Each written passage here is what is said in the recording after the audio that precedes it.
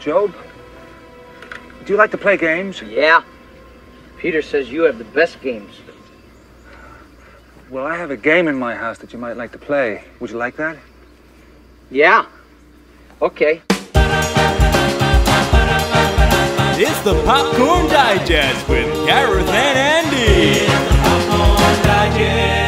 Hello and welcome to Stephen King's Popcorn Digest. I'm your co-host Gareth Green and joining me as always is my full-time co-host and part-time Stephen King solicitor, Andrew Raphael.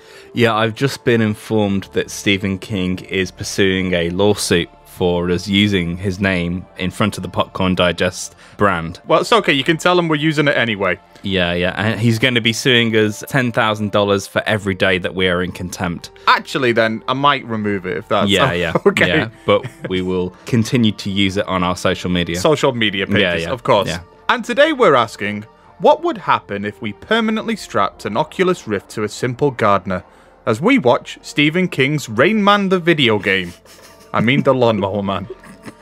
But is this virtual reality horror story virtually unwatchable? Find out after the trailer. From the imagination of Stephen King comes the story of a man Joe, come on, boy, let's go. Grass is waiting for you. with the mind of a child. Yeah, Cybo Man. He came to see me. Cybo Man. Comics, right? Yeah, Cybo Man. and a doctor Virtual reality holds a key to the evolution of the human mind. with a vision of the future. I have a game in my house that you might like to play. Would you like that? Yeah. Okay. That was really bad. I have different games. I even have one that could help make you smarter. Now, Jobe Smith is about to enter the world of virtual reality. Ah, it's gonna hit no, no, no, Joe, just relax. It's gonna be like being up there with the stars, Jobe. They're going to another planet. His mind is like a clean, hungry sponge.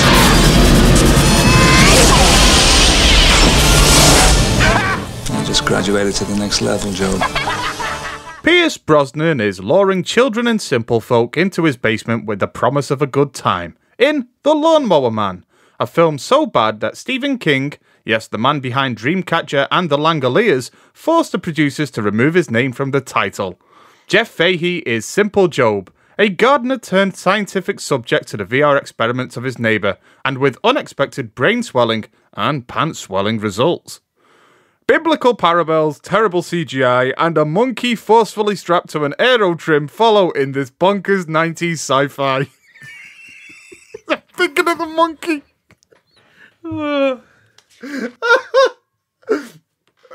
like, that's what it opens with a I know. monkey and an aero trim just spinning round whilst being subjected to this VR nightmare. Yeah, that's uh, that's probably one of my favorite cold openings to a movie. There's no half measures in this film. no, It starts as it means to go on. it most certainly does.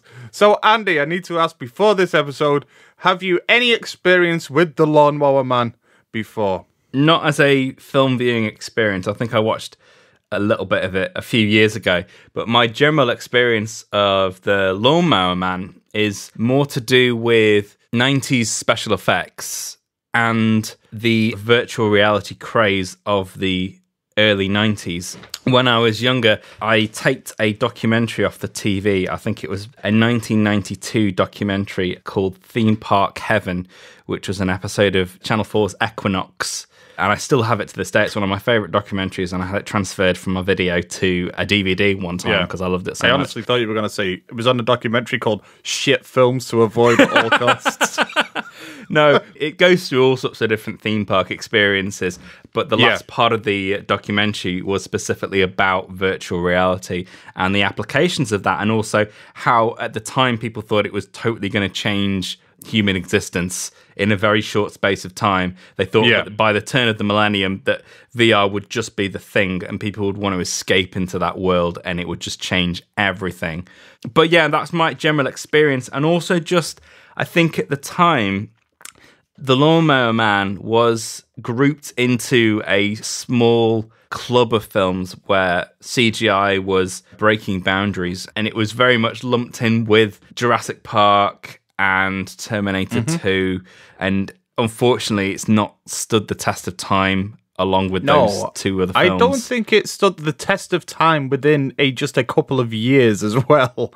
To be honest, I mean, because Yeah. one thing that we do need to say, I know we go into the stats and facts normally at the end of the episode, but it was lumped in with those films, and I would say rather unfairly because although it does have some very heavy special effects scenes in it that were rather groundbreaking for the time, perhaps it still had a budget that was quite modest. uh, Like Yeah. say more on the low budget to mid budget side of things. It had Yeah. a ten million dollar budget in 1992.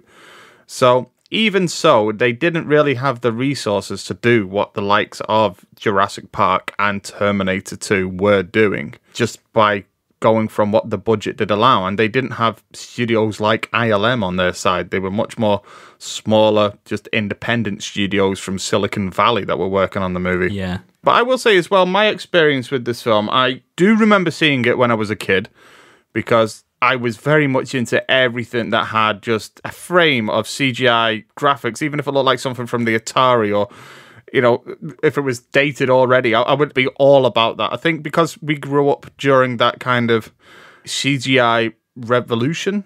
Yeah. I was very much caught up in that for pretty much the entire 90s as a film goer. I Yeah. would pick and choose my films based on whether or not the amount of CGI it would have and to just to see how far it had progressed. I mean, that led me to certain films like Dungeons and Dragons, the movie, and Yeah. that type of thing. So it wasn't always a good bet either.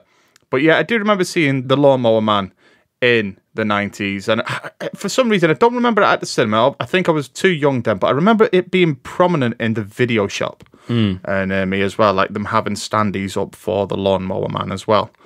And I mean, that I must have been only about five years old, but I still remember that. And yeah, I saw it in the 90s.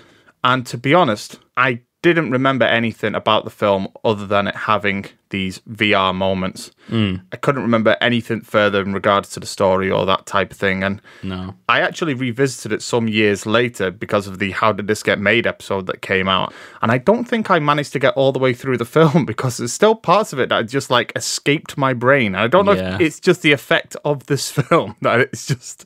I'm already trying to grasp at pieces of the film to remember to speak about for this episode. so, so that's where I'm at with uh, The Lawnmower Man. And also, I do remember it being Stephen King's The Lawnmower Man as well Yeah. especially in the video shop, I remember those standees. I remember those posters and the video boxes with Stephen King's The Lawnmower Man. And for the longest time, I just thought this was a Stephen King film. Which I guess we should really go into, like in terms of the context of this film. I will say that I've not really been able to find out much about the film, but I do understand that you, Andy, have come across a uh, a few pieces of information online that you're going to yeah. relay to us about the making of the film. Yeah. So the original story of the Lawnmower Man was a a short story written by Stephen King in 1975. I think it debuted in Cavalier magazine in that year, and then it was also included later on in his short story collection, uh, Night Shift, which was released in 1978. Yeah. And from that point onwards, it was optioned along with quite a few of the other short stories in that collection by Milton uh, Subotsky and Andrew Donnelly. Oh, Subotsky and Donnelly, of course. Yeah, yeah. I think they were called Sword and Sorcery Productions, and they'd optioned six of the 20 stories that were included in that Night Shift collection. And Yeah. they were planning on making some horror anthology films. that was a thing in the like the late 80s and early 90s to have these horror anthology i'm thinking like creep show and body bags and like twilight zone the movie Yeah. i mean that's a horror show for a whole different reason Yeah, I think they had yeah they had Lawnmower Man, The Mangler, and Trucks, which I'm pretty sure became maximum overdrive Maximum Overdrive. Yeah, so that's all lumped in with this. Nothing came of that, and in 1984, Dino De Laurentiis, our great of course friend Dino De Laurentiis, Uh, uh, friend of the show yeah. Why you not do Hannibal? but yeah, he um, purchased the rights to three of these stories from those guys, and also intended to make a horror anthology feature film because he was actually making one anywhere at the time, which was called Cat's Eye, which was released in 1985. Yes, I've seen that film. If I remember rightly, it has one story that I remember. It's all told from the perspective of a cat going through these like different stories. Um, and it's just really an observer in these stories.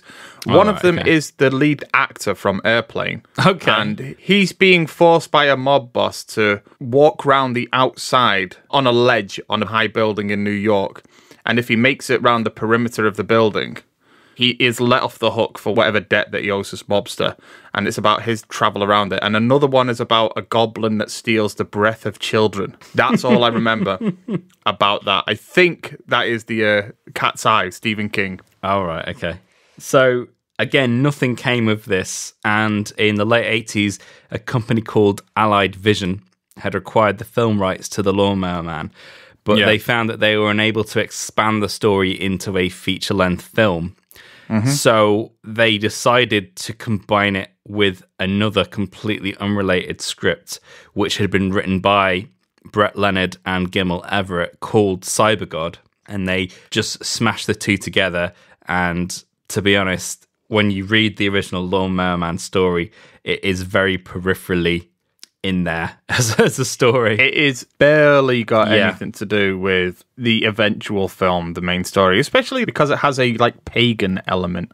It's Pan, isn't it? The it's a satyr, and he's killing people with this lawnmower as a sacrifice to his god Pan. Yes, that's it. And this doesn't have any of that in it whatsoever. There are some No. very peripheral references. The fact that he kills somebody with a lawnmower. And I think they mention on Wikipedia that there's one of the characters mentions in the film that some of the remains were found in the bird bath. Yeah, that's And about it. That's about the uh, the long and short of it, really. Yeah. So, Allied made the film, and New Line Cinema acquired the distribution rights. In the run up to the film, it was advertised frequently as Stephen King's The Lawnmower Man. And you Yeah. if you just go on Google, you can see loads of different posters that clearly state that it is Stephen King's The Lawnmower Man. But King filed a lawsuit in May 92 against Allied and New Line, claiming that the film bore no meaningful resemblance to his short story, aside from the title and a brief two minute long scene in which the lawnmower attacks and kills the abusive Harold Parquette, and insisted that his name be removed from advertisements and from the film's credits.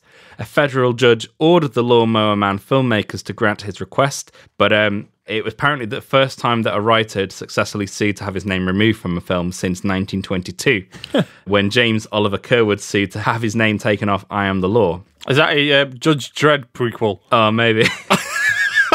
but Allied and New Line felt that the judge's ruling was too broad and might force them to remove prints already in circulation, essentially stopping the distribution of the film throughout the world. They appealed, and a three judge panel issued a stay of injunction until the appeal was settled. And it basically meant that New Line had to cease King's name in the advertising, but it didn't mean they had to remove the based upon in the on screen credit on the actual film. So it meant that Yeah. they could still run the film with the credits as is, but they had to take it out of the advertising. I guess that begins to explain how the film then came to end up with his credit being restored for the uh, eventual VHS release of the film, just simply because they had scanned in a print of the film that Yeah. had his name rather than one of the ones that didn't. So apparently in 93, they'd reached a $2.5 million settlement. That's like a quarter of the budget. Yeah. but New Line continued to use King's name in advertising for the movie, violating their agreement. So in 1994, a federal judge found New Line in contempt of court for failure to remove King's name from video cassettes, packaging, and posters. Yeah. And on the 30th of March 94, the judge gave New Line 30 days to comply or face a $10,000 a day penalty. Oh wow. I mean, the thing is I do joke about this as well that the man behind, you know, such titles as The Langoliers and Dreamcatcher is like so concerned about his reputation that he's suing New Line Pictures to have his name removed from the film. But it doesn't sound to me like it's got anything to do with the quality of the film. I mean, this is a man that regularly sells the rights to his films for a dollar to Yeah. upstarting and upcoming new filmmakers just to see what they can do. It's why we end up with a lot of like independent Stephen King films made on a small budget going straight to DVD or VOD. So I don't think this is an issue of quality. It's an issue of the fact that it's just got nothing to do with this story and his name's being taken for a ride. And so I get exactly where Stephen King is coming from in this regard. And he's not somebody as well, given the popularity he has, he's not somebody that requires the paycheck either. No. So, I mean, the thing is as well that Stephen King, in terms of the adaptations, adaptations of Stephen King's material, there are definitely a great number of bad adaptations and Oh, yeah. not too many good ones. Even so, I think this would have fallen very strongly into the bad adaptation Yeah. for me personally. And it's strange as well that the film reads like someone who's tried to copy elements of his style as well. It's Yeah. a bit of a grab bag of elements from other King stories. I mean, you've got a bit of Carrie in there. You've got a Yeah. bit of Christine. The uh, shadowy organization called The Shop is actually nicked wholesale from his uh, story Firestarter. Oh, I've not seen that one. That's the Drew Barrymore Yeah, the yeah. film version. So it's it's got a lot of kingy elements anyway, which I imagine they were trying to sort of say, oh yeah, this is a Stephen King Yeah. story, but I get that, but I feel like it's more so like the dressing of the film is Stephen Oh, yeah, King, yeah. whereas the body of the film is entirely Philip K. Dick or uh, what's it, Flowers for Algernon. Yeah, the one that it, everybody yeah, always Flowers references with this one. It's very Flowers for Algernon. Those kind of pioneers of new sci-fi during the uh, 50s and 60s and 70s. Yeah. It feels more akin to that, but it's been dressed up as a Stephen King film because I do feel like even in the way that the community is as well, that's very Stephen King esque as well. Like his films are not often focused on one or two characters. It's normally about a community facing something. Yeah, And this film has that as well. Like it has these very, very strange, almost out of Twin Peaks community characters as well.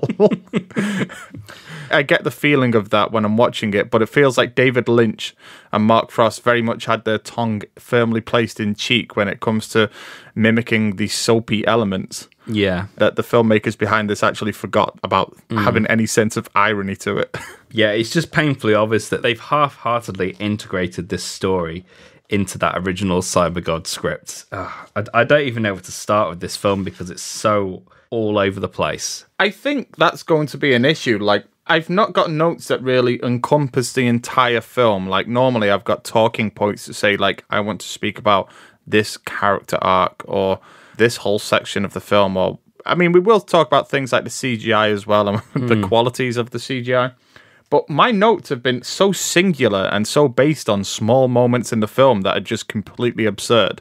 Like my Yeah, first yeah. note, as I was mentioning to you before the episode began, my first note is just me repeating one of the opening lines that Pierce Brosnan says, which is "Fuck these political assholes. He's the best chimp I've ever had." and I've I've written next to that, it's definitely beginning to sound like Brosnan fucked that chimp. Yeah, yeah. and Fuck and the law. I want this chimp. I love this chimp with all my heart.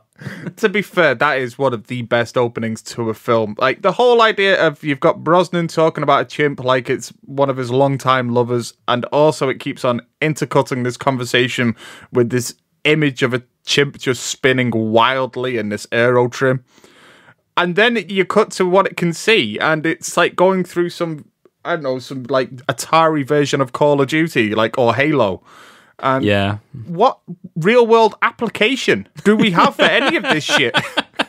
like, oh, where are we sending this monkey to space? I don't know.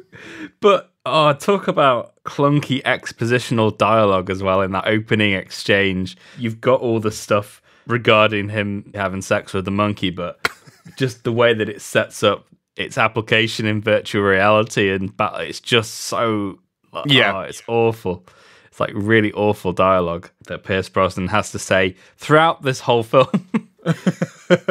I've wrote as well that like the balls to open this film with that as a cold open with the monkey going through the facility and shooting the uh, the security guard, and then the way that it cuts to the titles is with such confidence. Uh, it's like the monkey shoots somebody and then it's like "Bzzz, New Line Cinema presents. it's like what? Yeah, I think also as well, I had it much worse than you did because I think it's worth noting at this point that we both watched completely different versions of the film. Yes, I'm quite eager to know what is different in regards from the theatrical cut to the director's cut. Apparently, from what I can see from the trailer, it has more monkey. Oh, the monkey stuff's way longer, like way longer. I mean, even that cold open is a lot longer than it is in the theatrical because I, I did manage to watch the first 15 minutes of the theatrical this morning. And yeah, I'm pretty sure that cold open's like five minutes longer than uh, that. There's a lot more of him working his way around the facility. Is this Terrence Malick's The Lawnmower Man? Oh yeah, I mean it is significantly longer than the theatrical. It's about 24 minutes longer or something than the theatrical. The bulk of that is from the first half of the film. So yeah, there's a lot more of the monkey, a lot more of Jobe in his simple form, and the subplot with the uh, father, right, got you. like the Reverend. Oh, yeah, the Reverend. Oh, of course. The thing is, I already feel like there's enough of that in the actual theatrical cut, Yeah, to be honest. yeah. How does it play out in the director's cut in terms of it having more of that? Because it sounds to me like it doesn't have, I use air quotes as I say this, but it doesn't have more of the good stuff. It's more so just like the character work, which yeah. already it probably has too much of in this in this film Yeah, anyway. Yeah. Watching the theatrical this morning, I was like, oh, I wish I'd seen that because it's so much punchier and it gives you all the information that you need. It's a lot more streamlined and gets you to the important points a lot quicker. Whereas the director's cut drags quite significantly and it does feel a bit malformed because of it. Okay. All right. Yeah. So going forward from here, like we've mentioned, Andy has watched the director's cut. I've watched the theatrical cut. So we both have slightly different experiences of this film. I don't think that's really going to affect our No. approach to the quality of the overall film, mind you. This is not a Kingdom of Heaven type situation that we have here. No. Okay, so yes, I'm really going to go through my notes what I have on this film because I have such like individual moments that I want to talk about.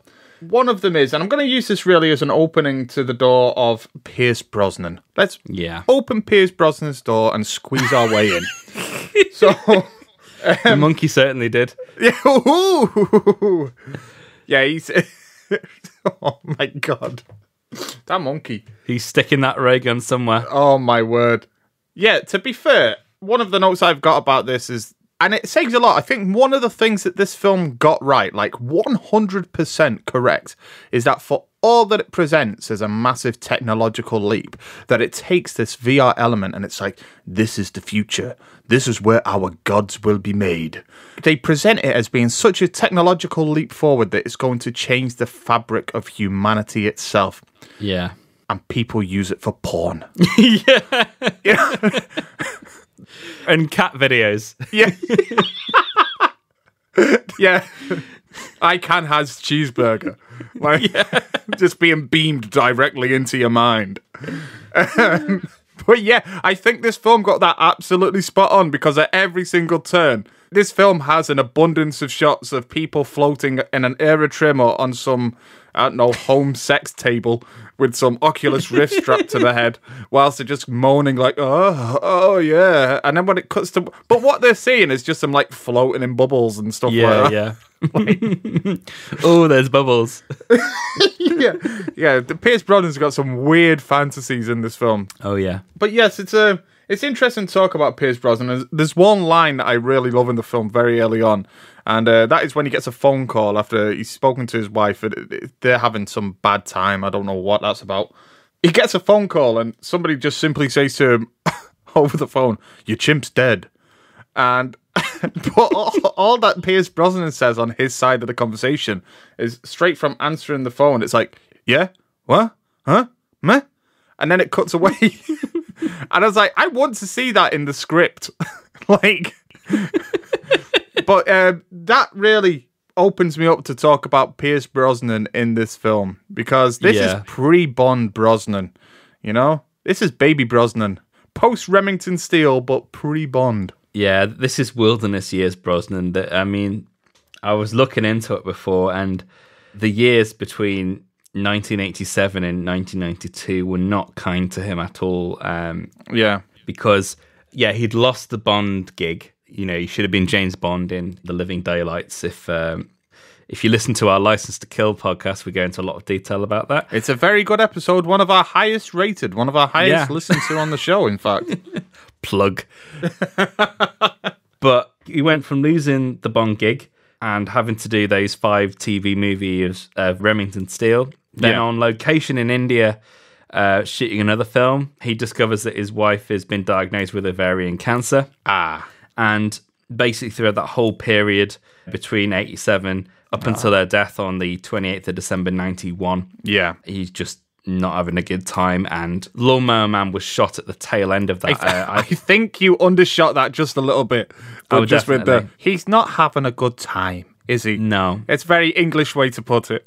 yeah but I managed to find the shooting dates for Lawnmower Man and they they started production on the 28th of May 91 so I think when you view the film in that context, I genuinely think that his uh, he's not a happy bunny doing No. this film, and you can kind of tell. I think. Yeah, his character is very angry throughout, even in the Yeah, scenes yeah. in which he's supposed to be quite affable, and um, the scenes in which, for example, he's trying to seduce the neighbor kid and Jobe to his basement, where he's supposed to be actually, you know, the cool neighbor. He comes across Yeah. as kind of angry throughout. I actually don't think his performance is that bad in this film, to be honest. Uh, it's, he becomes such a peripheral character, I would say, is uh, the script kind of lea- leaves him behind for the largest part.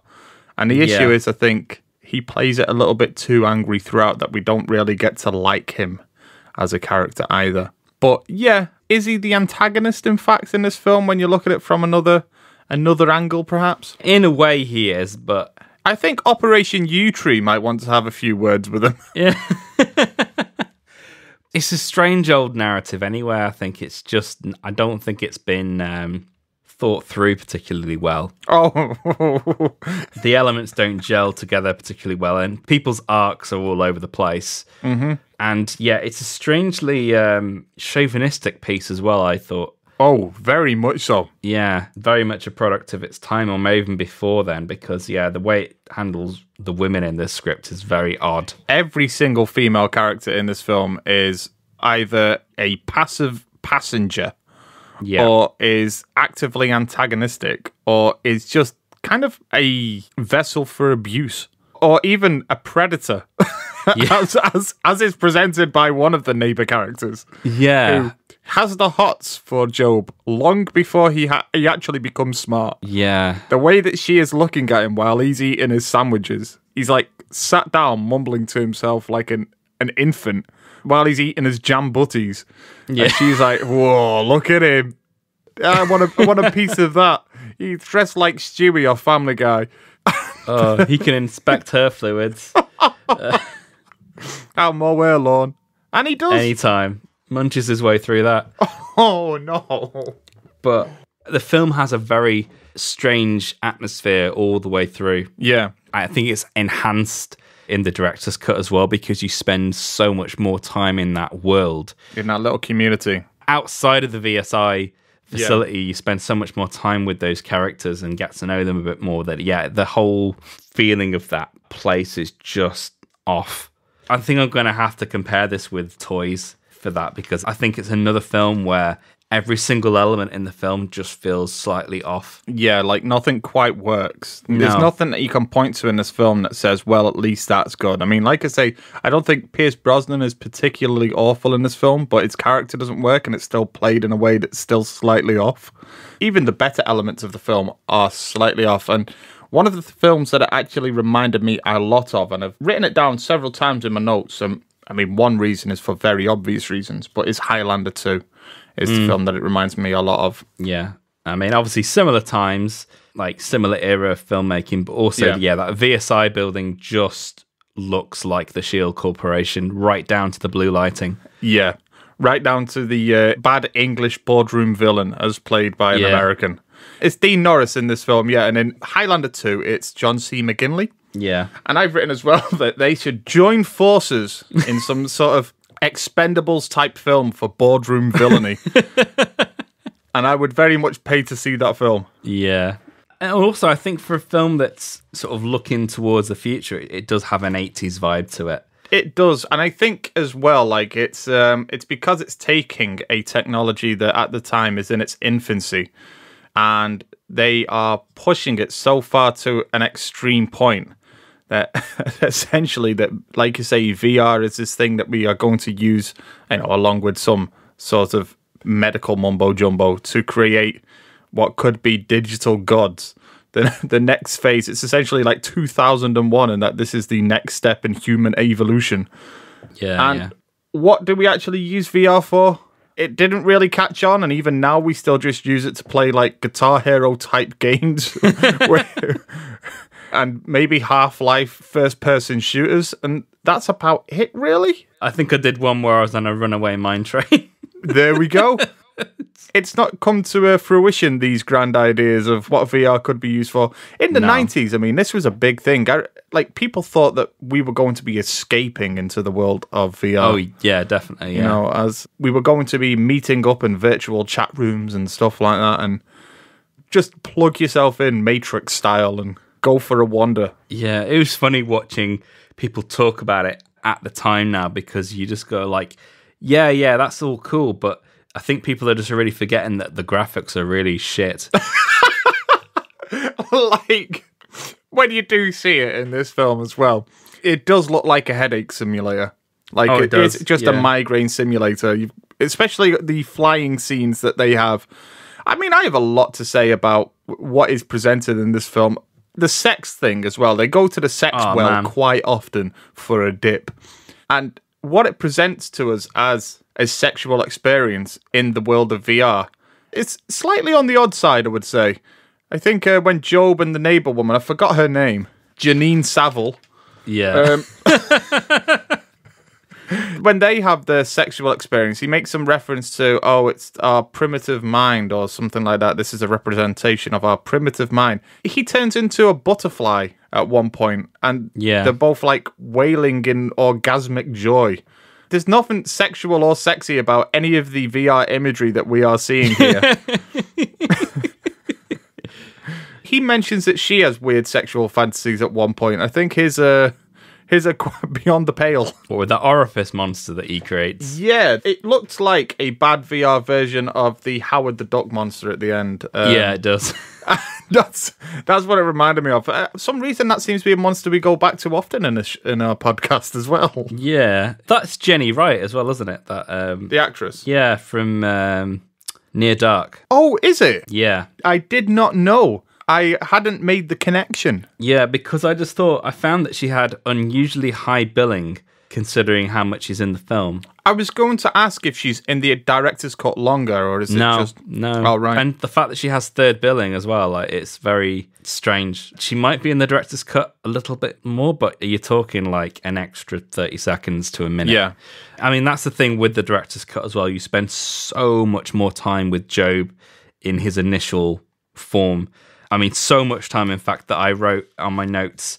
This just feels like a full length version of that trailer from Tropic Thunder, The Simple Jack. It's inescapable. I feel like that trailer it took a lot of inspiration from this film because even down to the way that his hair looks in the film. It, it really is. I mean, I know that they mentioned this in the How Did This Get Made episode of their show. So I was wondering whether or not I should mention it in this episode, but it is inescapable. You have to mention it because it's so obviously the touchstone reference for Simple Jack. Yeah. It really is like this is what they are taking the piss out of. You cannot escape it. And when you watch that film, that is all I can see. All I can Yeah. see is Simple Jack. And it does feel like this film is the parody of Hollywood actors doing slow. I'm using Yeah. air quotes, doing, you know, a simple minded individual, as they would often refer to it. And it feels like this is the film that's a parody of that, even though it's not. It's playing it completely straight. And Yeah. I, I mean, I like Jeff Fahey as well. He's a fine actor. He did a lot of B movies in the 80s and 90s that I quite like him. I, another film that he did at the time is Body Parts, which is great. It's a lot of fun. It's like a modern day Frankenstein meets, I don't know, like Seven. It's like got a serial killer element to it as well. I like Jeff Fahey, but this role is played so broad in his simpleness that it just comes across as parody. And I think we would be doing the film a disservice if we didn't mention Simple Jack. Yeah, it's all the more worse in the director's cut because you see him as that for such a long. I think he's that version of that character for at least half an hour. really? So it's quite some time then until you get him into those ass hugging jeans. Oh yeah, it's quite a long time. Yeah, when he gets punched to the ground and he does that turnaround, for some reason, I don't know why, but the frame really makes sure that they get in his big bubble butt into the frame as he turns around and he strikes a pose that makes it look like something out of Playgirl magazine, I assume. I also think that the smarter that Jobe gets, the less clothes he wears. yeah. That seems to be a prominent theme in this in Yeah. this film. There's much more plot regarding the abuse that the father gives him. Yeah. I mean, I'm not sure whether in the theatrical there's the whole belt whipping scene. There is, there is. Apparently, there's more in the director's cut. Yeah. Of the actual abuse, there's only that one belt whipping scene that we see, and that's it. And to be honest, that is enough. I already feel like that whole section of the film is probably something that you could take out entirely. Because I, I will say as well, this film is like, even in its theatrical cut, it's about an hour and 45 minutes long or so. And I would say, Yeah. even with that, I still feel like you could cut it down to 90 minutes. Oh, definitely. I mean, it would still be shit, but. and the fact I watched a two hours twenty minute version as well. It's like, and you were introduced to the the Reverend character long before you meet his brother, which in Yeah. the theatrical cut is the other way around. You don't see that character until way afterwards. the fact that they're brothers though in the theatrical cut is such a it's an offhand comment that's made that it never really pays off in any meaningful way or anything like that. I think you may have noticed when you watch this film, Andy, but there are some biblical references just hidden and scattered throughout. you know, you may have you may have noticed them, you may not have. They may have passed you by. They're very deep and hidden in the film. You have to be smart like me or like Donald Trump to really get to to know these things. I've done tests online, so Oh, I know oh, wow. I'm very smart when it comes to looking Yeah. for these things in films. But you may have noticed that there are some biblical references. Hmm, hmm. And I'm wondering if the whole them being brothers is some sort of play on a biblical story that I haven't read. Because, I mean, obviously you've got Job, the book of Job, but I'm not really clued up on the Bible enough to know what the reference is to. And I'm thinking that perhaps that's something that's at play because those characters don't make sense to me in terms of their inclusion within this story and what they represent in the grand Yeah. scheme of things. Yeah, and I don't understand the whole um, stereotype Irish thing they've got going with them. this is something that's mentioned on another podcast, but I have to mention the accents. And another thing, this is another Yeah. thing that reminded me of Highlander, in that, you know, we have Pierce Brosnan, an Irish man, playing an American in this film. or Brit, I don't know. British. It's somewhere in between. It's like Yeah, what yeah. Liam Neeson does now, Yeah. where where it's it's some transatlantic nonsense. But anyway, it seems to be working for him. But I'd say Pierce Brosnan is the same. He's an Irish actor as well, playing some vaguely American individual. And then you have some American actors playing some very broadly Irish individuals. So it's got that kind of mix up of accents as well. And the Irish accents, they're very broad, but also completely different. I think it's even more wonky in the director's cut because they build it up so much, and then the way that they utilize those two characters doesn't make an awful lot of sense given Yeah. how much they've built those characters up. So I'm not sure whether that's better in the theatrical because they are given a lot of screen time in the director's cut. It sounds to me like that's where the cutting has come into play Yeah, in terms yeah. of those characters. The one that does get a lot of screen time is is like his employer. Yeah. He is like Jobe's one true ally in this world. And actually, that's the one character I think if you're going to have either of these characters, that's the one that should remain. There's already Oh, enough yeah, people in this world to show that, you know, Jobe is on the bottom rung of society in this world. You've already got like the gas station villain that Yeah. knocks him about and that type of thing. You don't need somebody to be belting him about the, the house while he's at home. No. You know? No, I think, yeah, yeah, you could easily have cut that whole church element out of the film because him being in the church and everything doesn't really collate with all the other jobs that he does in No. terms of him being a handyman. Around the town. So yeah, you could have just gotten rid of that whole angle and just have the one character, and then yeah, the gas station villain. But I mean, yeah, it still would be a shit film. I don't know why I'm talking about like we can improve this film. yeah, We can do it. you can't save this. No. It's too far gone. You know what's a line that really made me uncomfortable? And we've already talked about I keep on calling her Janine Saville, but I really I keep forgetting her name. I've already mentioned about how creepy it is that she kind of seduces Jobe or makes plans to seduce Jobe. She essentially preys on him very early on because he's not at a point mentally and really in which you would say that he could provide proper consent for Yeah, for what she uh, what she wants from him. But there is a point later that I wrote that where she says, "Give me your tongue," and I wrote, "This is very uncomfortable. Please make it stop." I think that is the point where I pressed pause and was like, "I'm going to watch the rest of this later." You know, when when my daughter can't burst in the room at any moment to ask what I'm doing. isn't there the bit straight after where like he feels her boobs and it goes, "Oh, look, nice and soft." Yes, it's very Forrest Gump. Yeah, yeah, it's a bit Gen A. Yeah, it is. Trying to hurt you, Johnny. It's not good in any way possible, and it's just the whole VR thing that follows makes it worse. To be honest, none of the VR looks really very appealing to me whatsoever. No, It's weird to watch this now and think that when I was a kid, I was like, fuck yeah, this is the future. This is, it's all happening here. Between this and Reboot, the Canadian show, and oh man, it looks like an episode of Reboot. The new adventures of Jonny Quest, I was Yeah. in this shit. I, honestly, it, and it makes me think right now. You know, when you get older and you look back at these things with hindsight, and you can really reframe it against other films of the time and other films of now, and I, and I really think to myself, man, what a shit tasting film I had as a five year old. I also think, what the fuck were my parents thinking letting me watch Yeah. this shit? Oh man, and as well, like we've not even got into the whole like evil scheme. You're gonna have to shine some light on this for me. What are they using this for? Like, what is this whole? I've got it. Monkey Space War. Yeah. but it feels like there's a real disconnect between the military application idea and the intelligence angle.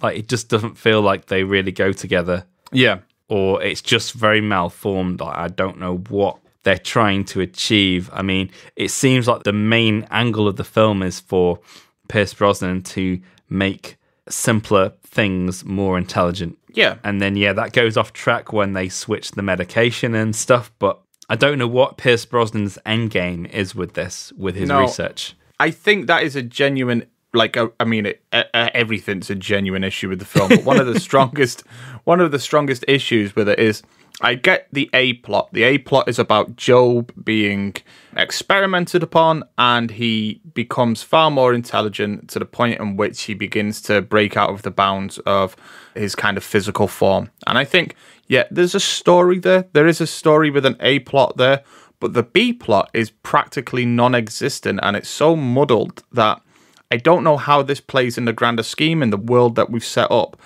And I think what we need in this is a more of a connection between how Jobe plays into this world, but also we need to know what they're building towards because I feel like this film lacks drive because of that. Yeah. The yeah. Jobe story is just for a while it feels like the same scenes repeating themselves, which is just Jobe goes to Pierce Brosnan's basement, gets injected full of Pierce Brosnan juice, puts on a VR helmet, Yeah. does something crazy for a bit, goes out and mows some lawns. Then the cycle repeats itself over and over again. Each time he gets progressively a little bit smarter and a little bit more naked. and that's it for a large chunk of the film. And it- Yeah. I, I remember thinking, like, where are we going with this? What's the direction? It, it feels completely aimless at this moment in time. And I think it's that it's the fact that there's not a second plot really that you can hang your hat on and say this is what the film's playing into. This is the the larger point that it's making. Yeah, when that whole montage bit started as well, because obviously it starts way later in, in the director's cut. I just wrote bullshit science and unethical too. Like, you know, right down to the fact that it gives him seizures and stuff like that. Like, this is not who signed off on this? Like, this guy's going to jail. Yeah. it's like it's um oh it's not good the whole thing is muddled as well especially with with angelo's story because the wife disappears halfway through and doesn't reappear for quite some time Wait, she reappears in your one. yeah do you not have that in yours where she gets sh- like shot to death where Jobe controls her okay that's not No, in the... that is not in the theatrical version. Or at least I was doing something when that happened. But no, she does not return. It's pretty brutal. I mean, it definitely plays into the sort of chauvinistic part of the film. There is a bit. I mean, you get the whole thing where Jobe controls people's minds in the theatrical. Yeah. Yeah. Yes, you do. Yeah. It starts with him controlling like objects, and then it, he can start to control people because he wipes the minds of the coppers as well when they're Yeah, investigating the case of the neighbor being killed by the lawnmower. Yeah. So there's a bit later on where, because Pierce Brosnan is on the run by that point, the VSI guards go to his home and Jobe is there as well. And through the mind control, it's just before you get the bubble people. Just before Right, that. yeah. But before that, his wife suddenly appears again, and she's completely controlled by Jobe.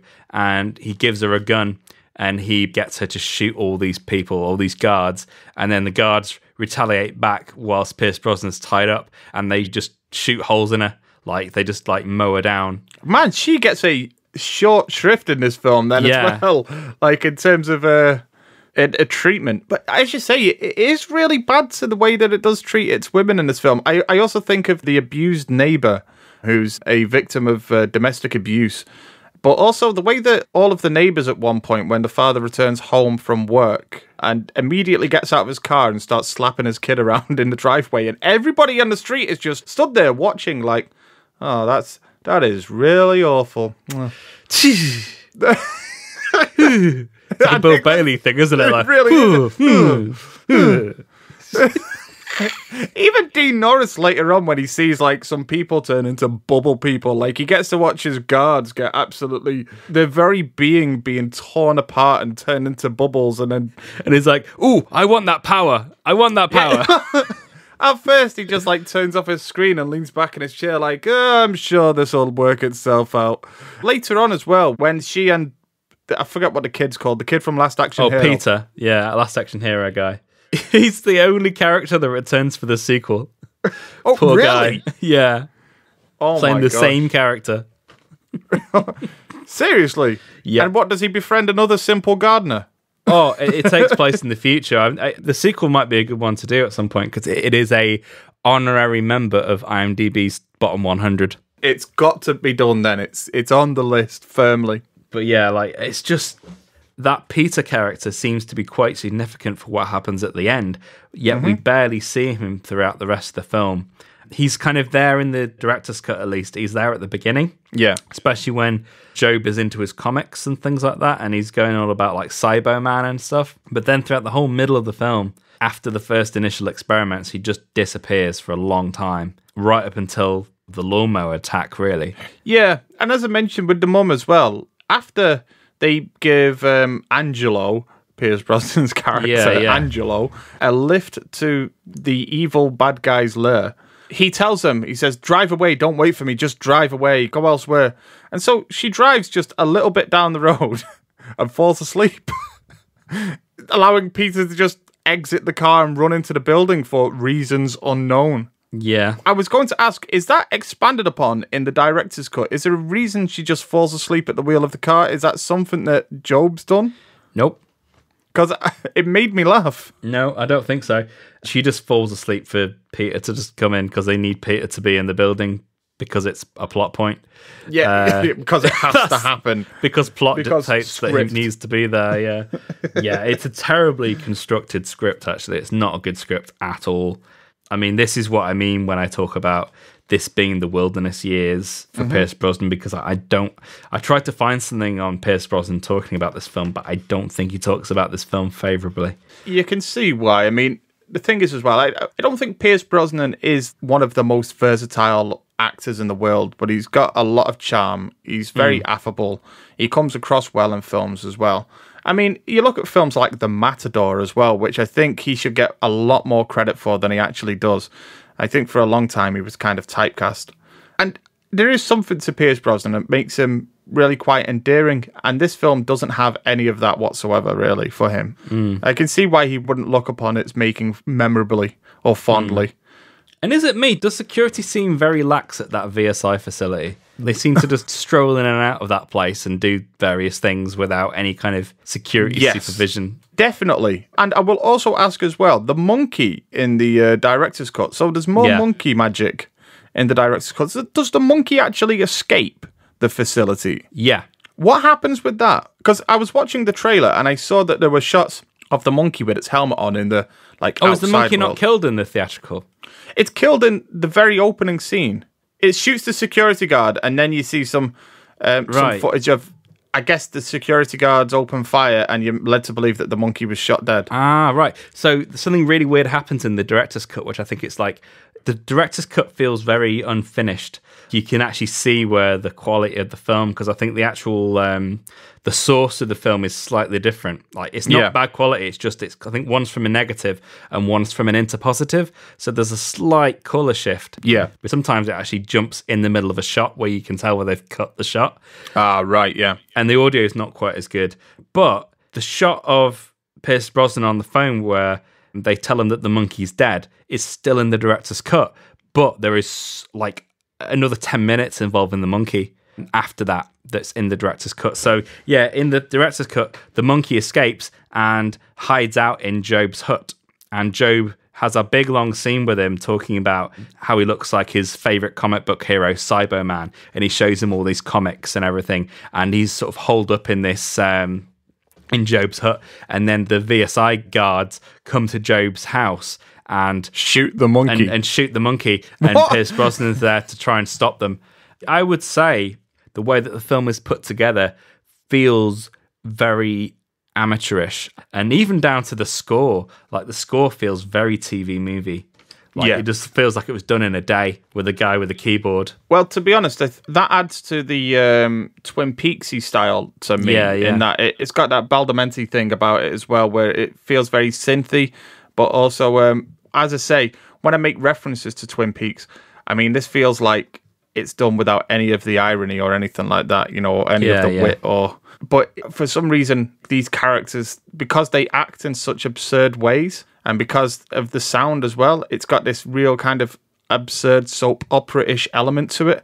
And it- I think it's the TV moviness of it as well that makes me think of that era of TV that we were getting, like Twin Peaks and stuff like that, but obviously not done anywhere near as well. No, no. But um, I've got a couple things that I need to add as well, just before we do get into the stats and facts. One thing is that I think this film has a record number of people that really need to have their hard drives checked. And and the other thing is we can't really finish discussion of the film without making mention of it being the battle of the mullets with this. We even have symbolism in the mullets. We Oh, have yeah. the light versus dark.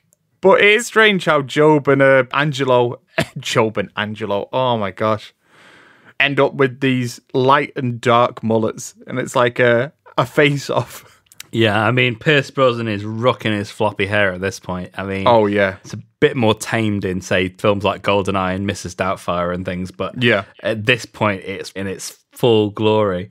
I, I just think the look of that character is odd in of itself with the whole Hawaiian shirts and white shorts and the little earring that he has and the glasses. and The earring is the chain very, uh, smoking and the it just, that that character just doesn't feel right. Do you think that's what he was just doing on set at the time? Just rolling onto camera, smoking. Like, I'm not taking my earring out. Yeah.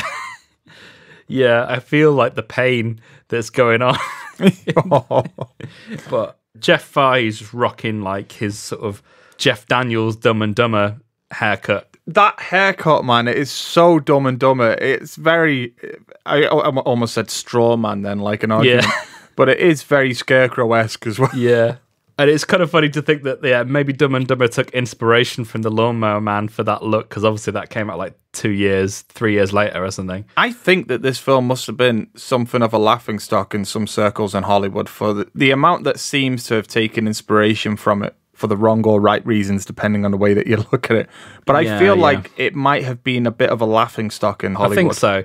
Because even when I was younger and this film was kind of still in vogue for its CGI, Mm-hmm. I'd always heard that it wasn't a good film, but the graphics were cool. Yeah. Like that just seemed to be the general feeling, like the general consensus.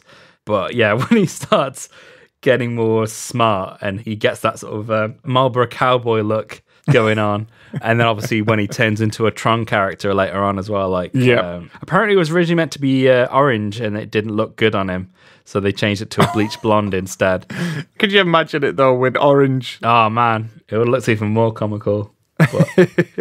Yeah, I feel like that whole arc for that character feels very muddled because I get that, yeah, Angelo is trying to make him a better character and he's learning, and then obviously that gets corrupted at some point with the uh, change in medication and like the whole Project Five thing that these sinister corporations got going on. Like they mentioned Project Five and really go into it very late on in the theatrical cut, but it seems to come out of nowhere. And I remember I was just like, I don't know what Project Five is. Yeah, you know. I think that's maybe a casualty of the theatrical cut, but it's mentioned more in the director's cut, like that whole Project Five thing. But even so, that just doesn't flow particularly well from one No. scene to the next in terms of his journey to becoming that godlike figure, that corrupted godlike figure. It doesn't. In a No. way, I feel like the only time it works is towards the end. Actually, I do like the bit where he's now fully digital and he's trying to get out.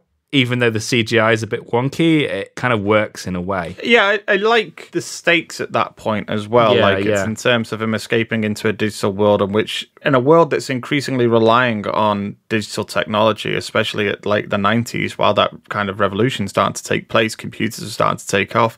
They're already becoming household objects as well. I like that this is what it's playing into. That in a world that relies on digital technology, this person is now going to become this digital god that really can take advantage of it. It's like he's Skynet almost. And I Yeah. like thematically what that's playing with. It's just like that's the only thing that thematically works for me. Like everything else surrounding it, the build up to it, the way that it actually gets there, it's just so poorly handled. Oh yeah, yeah. There is a kernel of a good idea in that. I do like the idea. I mean, the, the execution of it with him turning into the shrivelly man with the plaster head and stuff, it's just hilarious. But I think the idea of him having so much hubris as to turn himself entirely into like pure energy, this digital character, and the fact that when Pierce Brosnan enters the scene, that he remarks on the fact that in doing so, he's lost all of his power in the physical world, and he mm-hmm. kind of didn't realize that. There's a good idea in that. Yeah. But it's a shame that it was kept until right to the end of the film. Yeah. To be honest, I don't think in the theatrical version they allow you to dwell on the fact that um, his physical body's been kind of like shriveled. You see it from like a very far shot that like he looks diminished physically, but they don't yeah. really go into it or allow you to dwell on it at all. he shrivels up and he's like, I'm in. And it's like, and it's like, it just sort of like sucks up. I don't know where it goes. Like the brain um, worm out of um, Starship Troopers. Yeah. I don't know why they bothered to do that, to be honest. I think it would have been better just to have just left his body like dead. Yeah, lifeless something. and limp. Yeah, because it just looks really goofy. But I'm pretty sure when Pierce Brosnan picks him up, there's like this thing where he picks up the head is still like just about there, but then you get like an over projection of the CGI version of Jobe, and then the head just falls off or turns into dust. It was almost like they didn't need to do that. I mean, No. Unless they just thought, oh, we need like a visual to demonstrate that he's gone on over Yeah, to the other side. powerlessness in the physical world. But I don't think it was executed particularly well. That I don't think it was executed particularly well. Is the statement to take away from this film? The only other thing I liked about the, in terms of the effects anyway, that I thought worked quite well was the Bubble Man. I thought that actually looked quite good for the time. I had questions about what was actually happening. Oh, I had no idea what that is, but I thought it looked quite cool.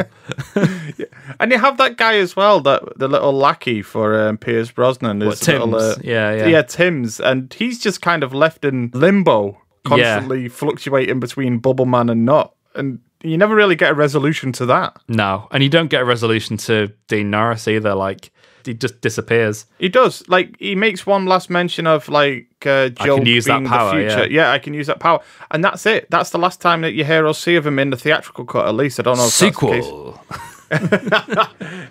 I'm sure Dean Norris was uh, chomping at the bit to be back into the sequel. Yeah. Okay, so uh, do you have anything further to add in regards to Lawnmower Man before we move on to the stats and facts? Um, Yeah, I just like the ending when he's trying to get through the different combinations, and then obviously I like the telephone ring at the end, which is quite effective, I think. But Yeah, that's probably the film's best singular moment is the Yeah. uh, the telephone ringing. what the last thirty seconds? the last 30 seconds, yeah.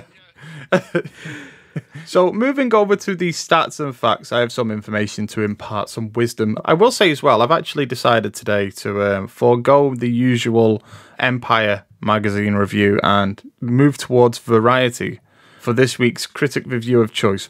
But before we get there, I'll just start off with the uh, box office numbers. This film had a budget of $10 million, so it's very much like our previous Tremors episode.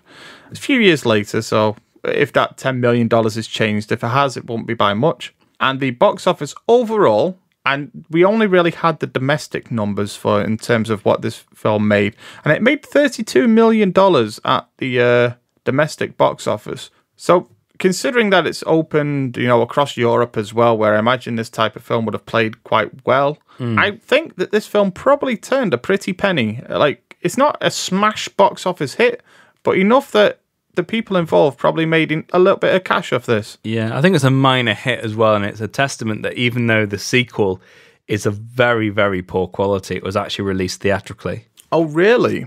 I always thought that the sequel, I've never seen it, but I always thought it was direct to DVD. No, it might have been direct to DVD in other territories, but I think domestically it was released theatrically, and it I think it bombed pretty hard. Ah, right. So I imagine that the honeymoon period was over for the Lawnmower Man at that point.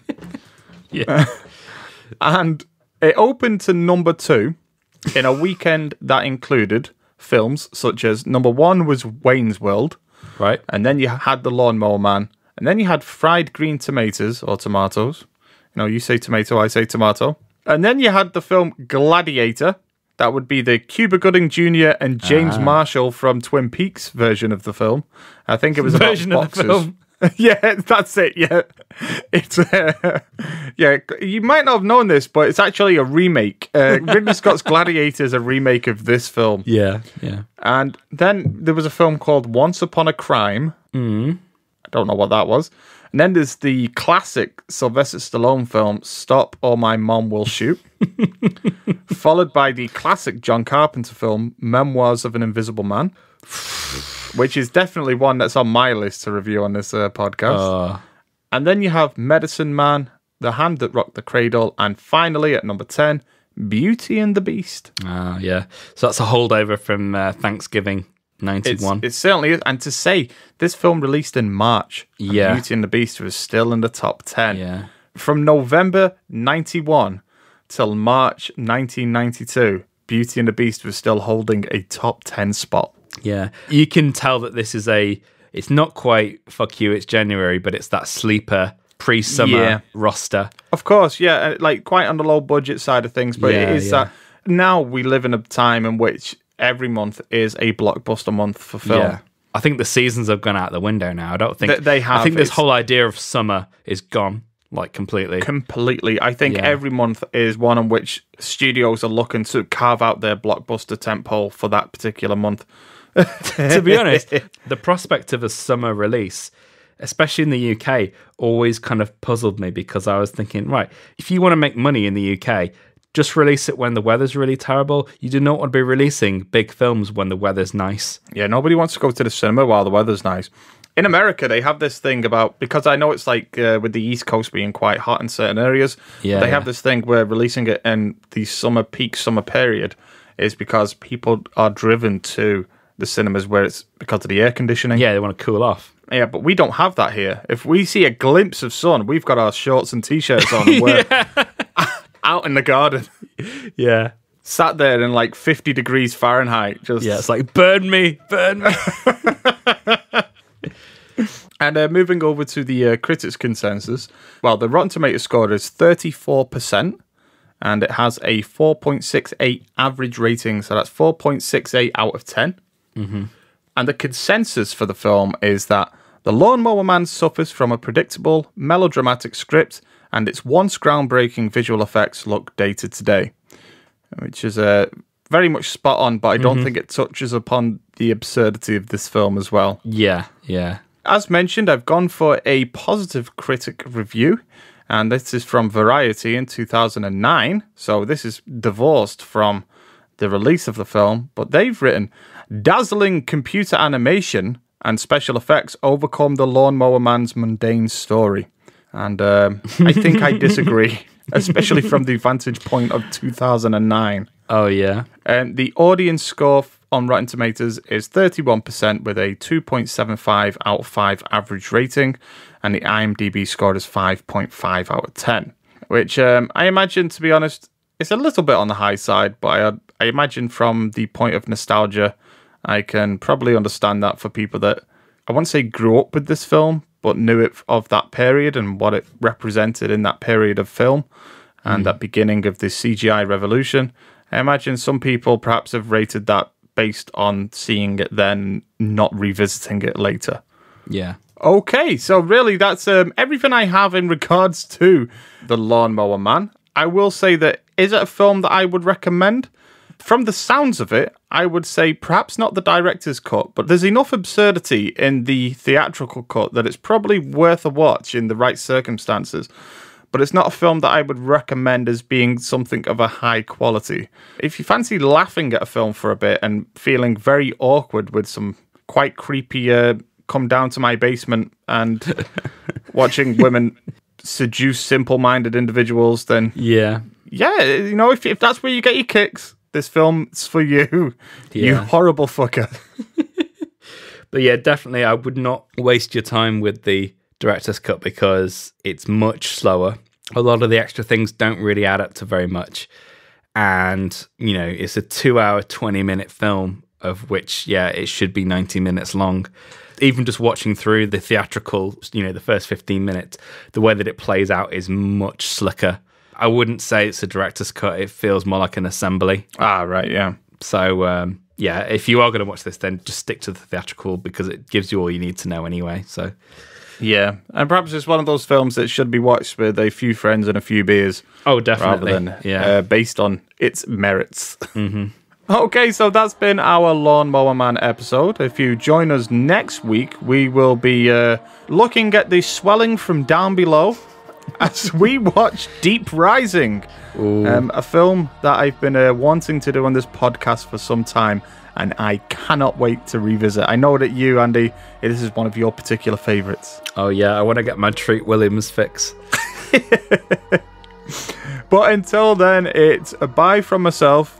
And bye from me, Cybo Man. Oh, simple Andy. Thank you for listening.